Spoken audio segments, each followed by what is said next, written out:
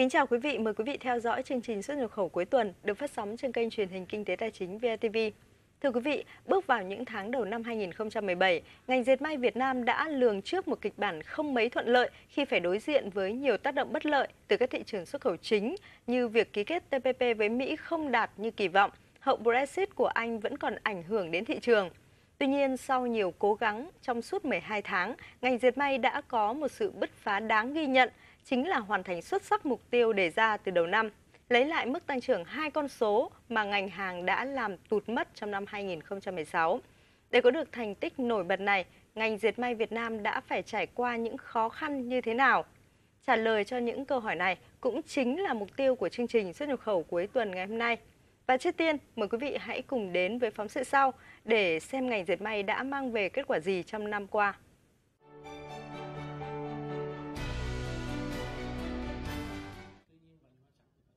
Trong một cuộc gặp gỡ và chia sẻ với phóng viên VITV về tình hình hoạt động kinh doanh của công ty, đại diện doanh nghiệp này cho biết, xuất khẩu gặp khá nhiều khó khăn sau khi Mỹ thông tin rút khỏi Hiệp định Đối tác Xuyên Thái Bình Dương TPP. Trong quý 1 và 2 năm 2017, một số nhà nhập khẩu đã rút đơn hàng sang các thị trường như Sri Lanka, Malaysia, Bangladesh để tận dụng thuế suất 0% ở những thị trường này. Tuy nhiên, từ quý 3 2017, đơn hàng đã quay trở lại Việt Nam, cùng với sự cải thiện nhanh chóng hệ thống sản xuất, tập trung vào một số mặt hàng thế mạnh, đồng thời đáp ứng nhu cầu thị trường nên tình hình xuất khẩu của công ty được cải thiện đáng kể. Doanh số chúng tôi tăng như thế là so với 2016 là tăng 28%. Thì trong đó cái may xuất khẩu thì cũng tăng được hơn 20%. Doanh nghiệp tôi tăng trưởng là do một là chúng tôi về may xuất khẩu chúng tôi tìm những cái mặt hàng may mà ít cạnh tranh bởi một số các nước khác. Ví dụ chúng tôi chọn cái mặt hàng sơ mi mà cao cấp gọi là dress shirt và chống nhăn trên cái áo sơ mi. Số liệu thống kê của Hiệp hội Dệt may Việt Nam cũng cho thấy, dựa trên đơn hàng đã ký, kim ngạch xuất khẩu toàn ngành dệt may tính đến hết tháng 12 dự kiến sẽ đạt 31 tỷ đô la Mỹ, vượt kế hoạch đề ra từ đầu năm là 29 đến 30 tỷ đô la Mỹ. Kết quả này cũng đồng nghĩa với việc ngành hàng đã lấy lại đà tăng trưởng hai con số, tăng 10,23% so với cùng kỳ 2016. Nổi bật là sự phát triển đa dạng các mặt hàng xuất khẩu. Ngoài các mặt hàng dệt may truyền thống thì các mặt hàng như vải, sơ sợi, vải địa kỹ thuật, phụ kiện dệt may cũng có sự tăng trưởng rất tốt. Cụ thể, kim ngạch xuất khẩu hàng dệt may đạt 25,91 tỷ đô la Mỹ, tăng 8,7% so với năm 2016. Xuất khẩu vải đạt 1,07 tỷ đô la Mỹ, Xuất khẩu sơ sợi ước đạt 3,51 tỷ đô la Mỹ, tăng 19,93%. Xuất khẩu nguyên phụ liệu dệt may 1,1 tỷ đô la Mỹ, tăng 17,3%. Đây là một kết quả ấn tượng sau hàng loạt khó khăn mà ngành hàng đối mặt từ năm 2016 kéo dài đến năm 2017. Cho đến thời điểm này thì chúng tôi tự tin rằng là cái con số uh, xuất khẩu của năm 2017 có thể đạt từ 30 đến 31 tỷ đô la. Dệt may cũng có một cái sự à, nỗ lực và cũng đạt được một cái thành tích nổi bật so với nhiều năm trước. Đó là đạt được cái mục tiêu đặt, đặt ra hồi đầu năm. Đáng chú ý là với kim ngạch xuất khẩu 31 tỷ đô la Mỹ, thặng dư thương mại của ngành đã chiếm khoảng một nửa, tương đương hơn 15 tỷ đô la Mỹ. Đây là mức cao kỷ lục đứng đầu trong các ngành hàng xuất khẩu của Việt Nam trong năm 2017. Theo phân tích của người trong ngành, Giá trị thặng dư thương mại của ngành dệt may tăng cao, một phần nhờ vào việc gia tăng tỷ lệ xuất khẩu sản phẩm may mặc sản xuất theo phương thức ODM. Cụ thể, số liệu Hiệp hội Dệt may cho biết, số lượng doanh nghiệp sản xuất theo phương thức ODM chiếm khoảng 3% năm 2016, đã tăng lên 7% năm 2017 và dự kiến sẽ tăng lên 11% trong năm 2018.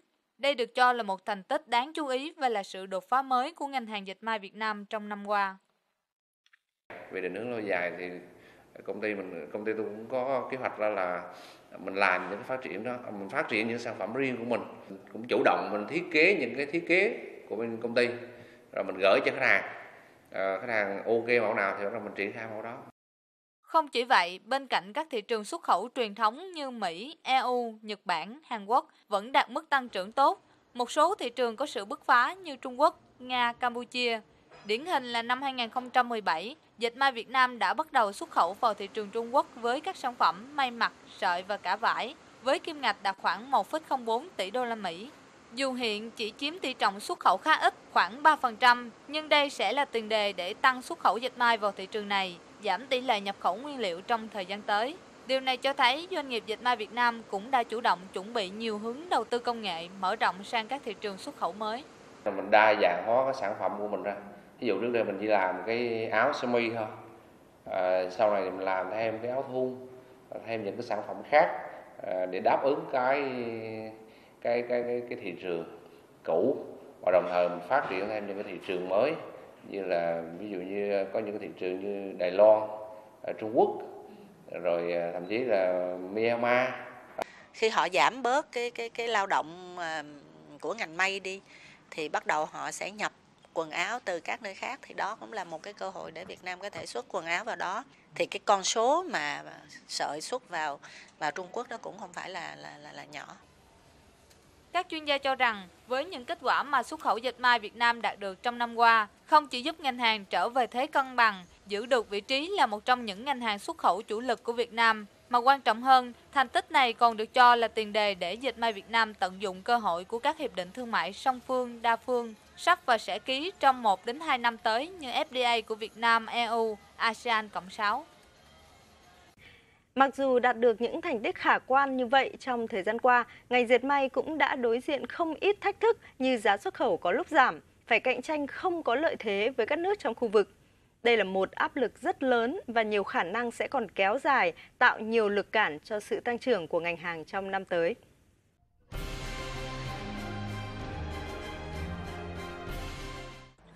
Mặc dù kết quả kinh doanh trong năm qua khá thuận lợi, với mức tăng trưởng trên 20% so với năm 2016, tuy nhiên, theo chia sẻ của ông Nguyễn Hữu Phúc, Chủ tịch công ty trách nhiệm hữu hạn Como, không chỉ Trung Quốc mà nhiều nước khác như Myanmar, Campuchia cũng đang gia tăng áp lực cạnh tranh thị phần với Việt Nam. Các nước này không chỉ đột phá về thị phần xuất khẩu mà ngay tại thị trường trong nước, các chính sách về bảo hiểm, đất đai, thuế đều thấp hơn so với Việt Nam. Do đó, mức độ cạnh tranh trên thị trường dệt may thế giới không chỉ gay gắt mà ngày càng khốc liệt hơn bao giờ hết.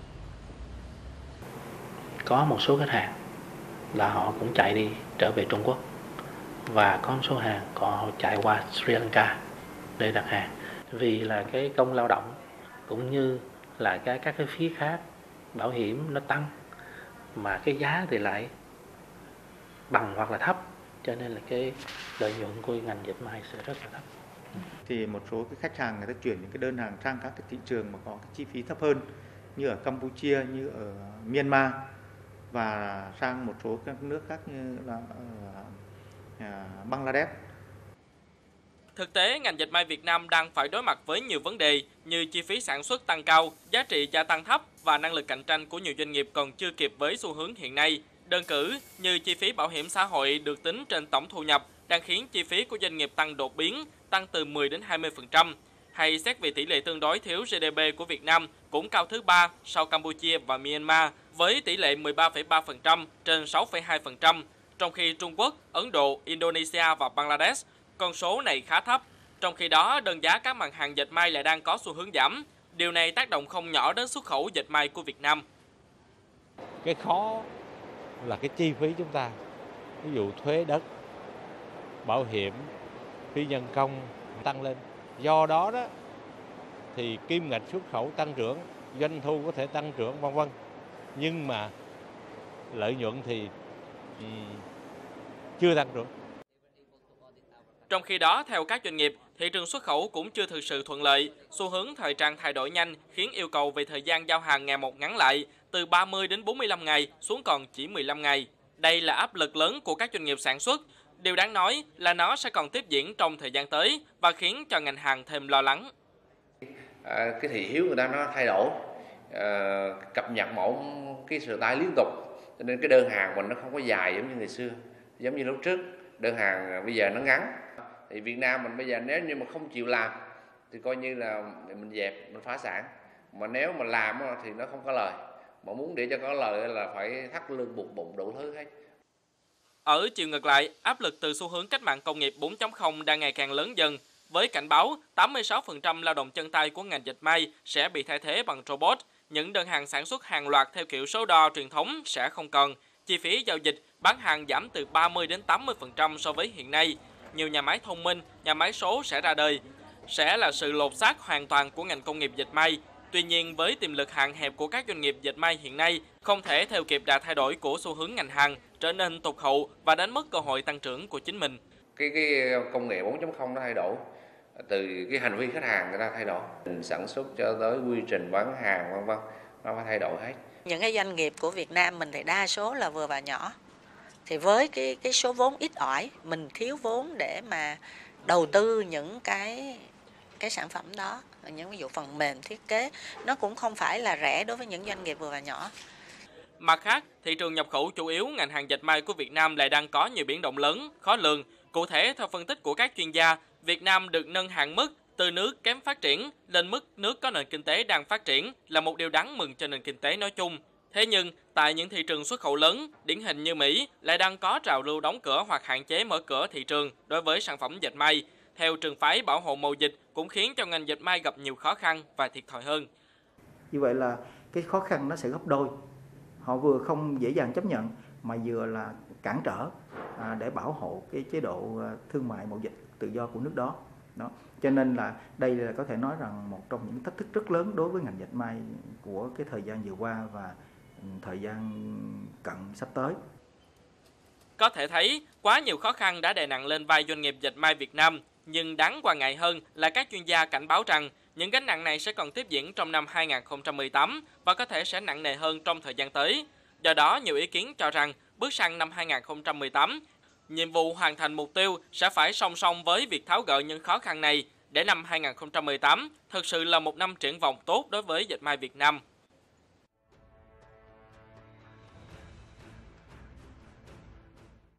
Nói về kỳ vọng của năm mới, Hiệp hội Dệt may Việt Nam cũng đã đề ra mục tiêu cho xuất khẩu dệt may năm 2018 là vào khoảng 33 tỷ 500 triệu đến 34 tỷ đô la Mỹ.